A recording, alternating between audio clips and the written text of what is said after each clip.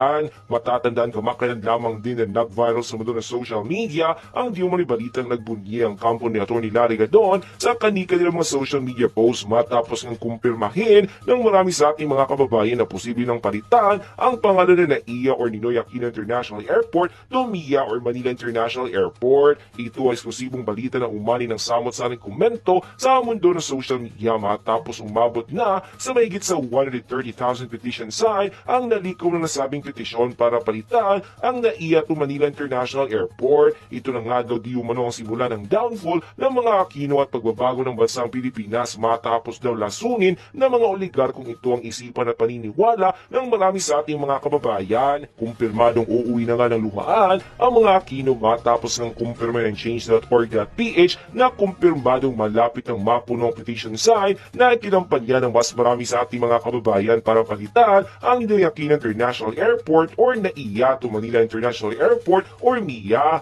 Ito ang balitang gumulantang sa mga fanatiko ng Liberal Party matapos ang nasabing balita na maaari nang tanggalin ang pangalan ni Ninoy Aquino International Airport or NAIA bilang pambansang paliparan at ibalik sa original na pangalan na walang iba kundi ang Manila International Airport or MIA. Dahil nga sa iyong balitang ito ay tila nakapagmura sa kasiyahan ang viral lawyer na walang iba kundi si Atty. Larry Gadon matapos ng panigan ng mas maraming Pilipino ang kanyang naging solusyon at wakasan na ang tila paghahari ng mga Aquino sa bansang Pilipinas. As of 1.43 a.m. ng madaling araw ng February 13 ay umabot na sa 138,679 petition sign ang nakuha ng pagbabago ng pangalan ng NAIA or Manila International Airport. Kaya naman nang lumabas ang balitang ito ay umani agad ang samot-saring komento mula sa marami sa ating mga kababayan.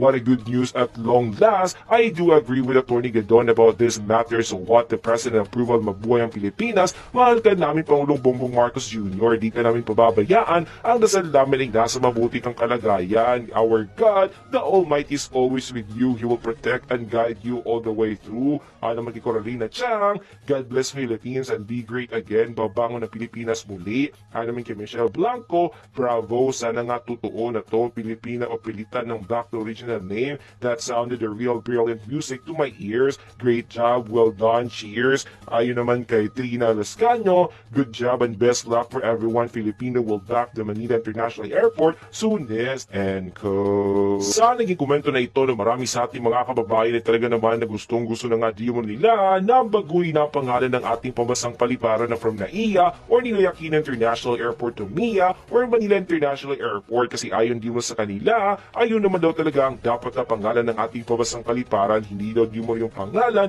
na kailanman ay hindi naging Pangulo or Bayani ang ating mahal na bayan. Mas mabuti na lamang daw na ipangalan na lamang daw di mo ito sa isang lugar kung saan nakastrink ang nasabing airport at yun daw di mo ng Manila. Kaya nga marami sa ating mga kababayan ngayon na mga OFW ang talaga naman ang lubos na natutuwa kasi nga ay sa wakas ay pag-uwi nila sa Pilipinas ay di na sila malilito pa kasi ang pangalan ng ating pabasang paliparan ay pangalan na ng lugar at yun ay Manila International Airport or NIA at hindi na Dimo Ninoy Aquino International Airport or NAIA na pangalan ng isang tao na kailanman ay hindi naging Pangulo or bayani ng bansang Pilipinas.